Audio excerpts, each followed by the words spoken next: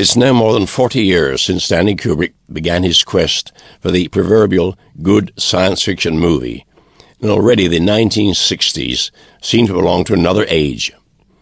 Only a handful of men and one woman had gone into space, and though President Kennedy had announced that the United States would put a man on the moon before the end of the decade, I doubt if many people believed it would actually happen. Moreover, our genuine knowledge of our neighbors in space was still virtually zero. We couldn't even be sure that the first probe to touch down on the moon would not instantly sink into a sea of dust, as some astronomers had confidently predicted. So, in writing our storyline, at the early dawn of the space age, Stanley and I had a credibility problem. We wanted to create something realistic and plausible that would not be made obsolete by the events of the next few years. And though our original working title was How the Solar System Was Won, Stanley was aiming at something more than a straightforward tale of exploration.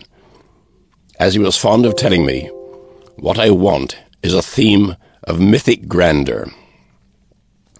Well, as the real year 2001 approaches, the movie has become part of popular culture. I doubt if even his wildest dreams Stanley imagined that one day uh, about a hundred million Americans would know exactly who or what was speaking when a Super Bowl commercial announced in a silken yet sinister voice, It was a bug, Dave. And by the way, if anyone still believes the legend that HAL was derived from IBM by displacing one letter of the alphabet, let me once again point wearily to chapter 16 for the correct origin of the name.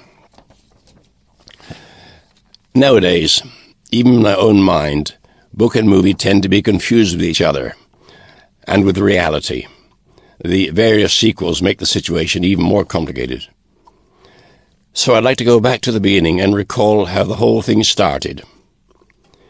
In April 1964, I left Ceylon, as it was then called, and went to New York to complete my editorial work on the Time Life book, Man and Space. It progressed very smoothly because whenever one of Time Life's zealous researchers asked me, What is your authority for this statement? I'd fix her with a basilisk stare and answer, You're looking at him. So I had ample energy for moonlighting with Stanley, and our first encounter was in Trader Vic's on April 23rd.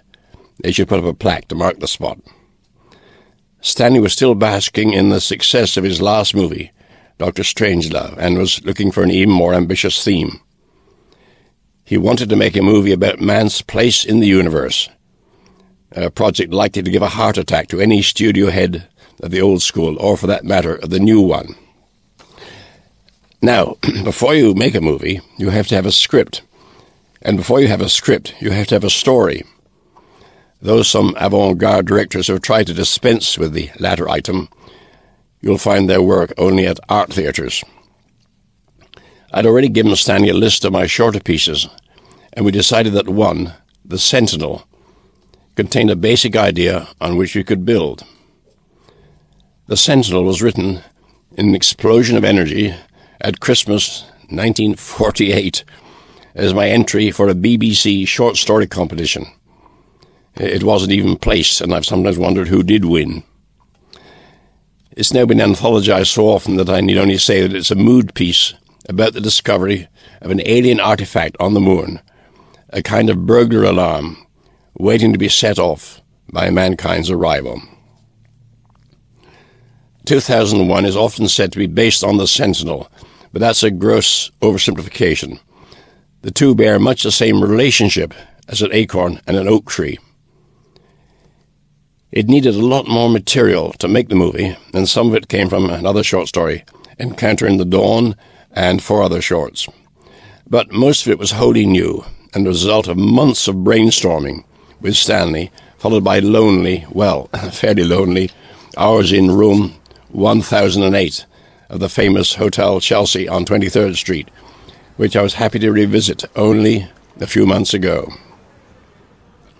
That's where most of the novel was written, and the journal of this often painful process uh, I've recorded in my book, The Lost Worlds of 2001, which gives a lot of the alternative storylines. But why write a novel, you may ask, when we are aiming to make a movie? It's true that novelizations, horrible word, are all too often produced afterwards. But in this case, Stanley had excellent reasons for reversing the process. Because a screenplay has to specify everything in excruciating detail, it's almost as tedious to read as to write.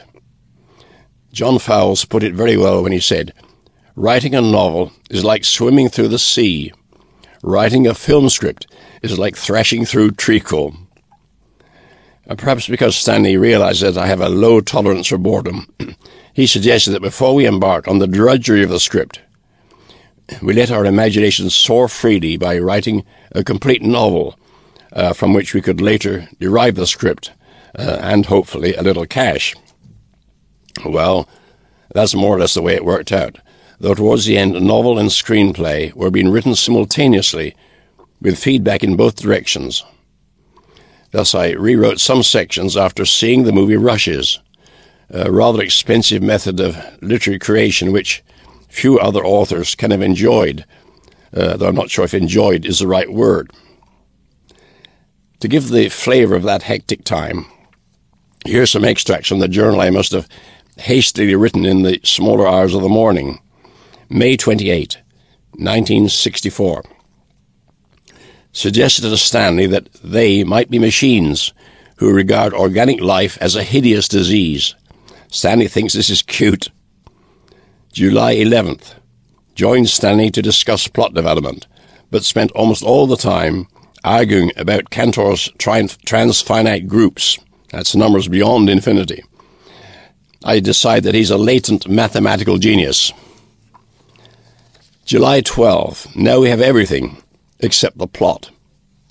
July 26, Stanley's 36th birthday.